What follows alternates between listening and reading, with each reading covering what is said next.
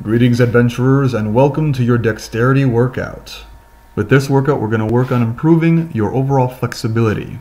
We'll begin by testing with an overhead squat, followed by a full body flow that you need no equipment for, with a bonus stage after that if you have a foam roller available, and another bonus stage after that if you have a kettlebell that you can use.